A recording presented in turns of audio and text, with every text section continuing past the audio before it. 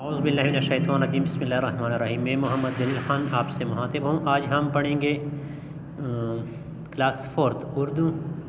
और ये है प्राइमर उर्दू। प्राइमर उर्दू, जमात चाहरम, page number eight. Page number eight पे आज हम पढ़ेंगे ये ज़बान शनासी के बारे में। तो यहाँ पे दिए गए हैं मुतरद अल्फाज।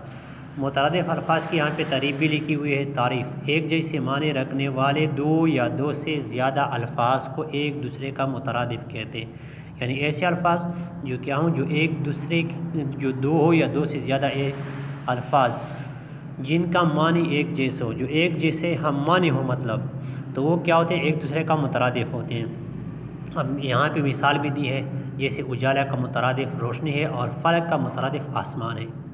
तो नीचे सवाल, इसी सिलसिले में सवाल नंबर आठ दिया गया है, जेल में दिए गए अल्फाज के मुतरद लिखें तो ये बच्चों का होमवर्क होता है। कोशिश करें कि बच्चों का जो होमवर्क हो या क्लास वर्क हो, जो कापी है वो नीट, वो थोड़ी जो नफासत के साथ हो। नफासत का मतलब ये है, देखिए यहाँ पे मुख्तलिफ़ कलर में इनको जो है वो लिखा गया है। जैसे ज़बान शनासी, इनको रेड कलर दिया गया है, फिर मुतरद अल्फाज जो है इनको।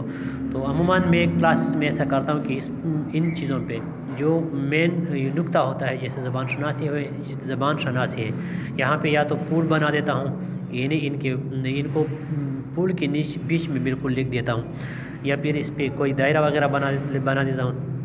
इस तरह मुतरद अल्फाज हैं। तो बच्चों को कहता हूँ कि वो इनको कलर दें। इससे बच्चे की कापी जो है, बहुत खूबसूरत दिखाई देती है। उसमें एक किस्म की नफासत आ जाती है। तो अल्फाज मुतरदफ़ तो बच्चे जो है वो फिर ये शौक़ से भी करते हैं कभी कभी सेब वगैरह बनवा देता हूँ कभी कभी जो है आम वगैरह। तो इससे बच्चे जो है ना वो दिलचस्पी लेते हैं। इन चीज़ों में तितली भी हम कभी कभी कबार बना देते हैं, जिसके बीच में हम फिर जमात का काम या घर का काम, फिर मोरखा वगैरह ये चीज़ें लिख देते हैं। तो अल्फाज मुतरदफ़, ये सवाल नंबर आठ हम हल करेंगे। जेल में दिए गए अल्फाज के मुतरदफ़ लिखे। तो अल्फाज क्या मुतरदफ़? निराले अनोखे।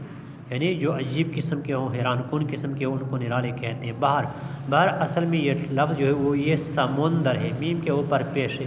लेकिन चूँकि अब आम इस्तेमाल में आया है तो इस वजह से हम इसको समंदर ही कहते हैं। पढ़ते और लिखते भी हैं। इस तरह, इस तरफ़ अल्फाज दिए गए हैं, वली। वली का मतलब है आका, मालिक। और इसके पीर, इसके बाद दिया गया है सहारा, जिसका मुतरद लफ्ज़ जो है, वो हम इस्तेमाल करते हैं, आसरा। नीचे एक और सवाल है, इसी पेज पर जो इस लेसन का हम का ये आखिरी सवाल है।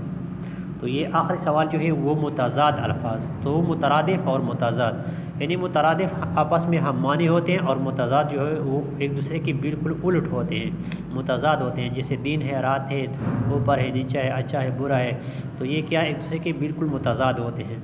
अब मुतज़ाद की तारीफ़ देख लें, ऐसे अल्फाज जिनके मानी एक दूसरे के उलट हों, इनको उलट अल्फाज भी कहते हैं। अल्फाज उलट, मुतज़ाद अल्फाज कहलाते हैं। जैसे, दिन का राह, मुतज़ाद रात है, अंधेरा का मुतज़ाद उजाला है। तो इसी सिलसिले में बच्चों के लिए एक सवाल दिया गया है। सवाल नंबर नौ, जेल में दिए गए अल्फाज के मुतज़ाद लिखे। लफ्ज़ जो है दुनिया है, इसका मुतज़ाद आखरत होगा। रोज का जवाल है, आग का जो मुतज़ाद है, वो पानी है। उजाला का अंधेरा है, रहमत का जहमत है और इंसान का हैवान है। तो ये जो है बच्चों का आज होमवर्क भी है क्लास वर्क भी है।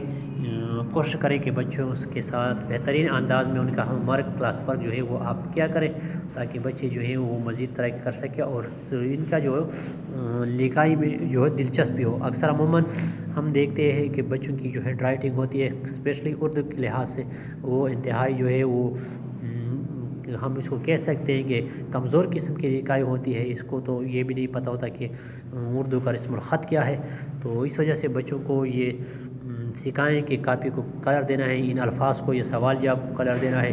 तो इससे बच्चे में जो है, बच्चों में जो है, वो शौक़ पैदा होता है लिखने का और जब तक, जब वो जितना ज़्यादा लिखेंगे, उतना ही ज़्यादा उनका फ़ायदा होगा, उनकी हैंड राइटिंग पर इसका असर होगा। तो ये class fourth Urdu, page number eight, सवाल नंबर एट और नाइन ये आज हमने हल की है। शुक्रिया, दुआ में याद रखिएगा।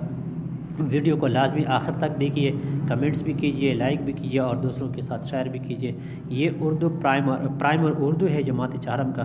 तो ऐसे तमाम तलबा तलबात जो क्या जो प्राइमर उर्दू पढ़ते हैं स्कूलों में, उनके लिए एक मुफीद वीडियो है। शुक्रिया। असल वरहमल वर्का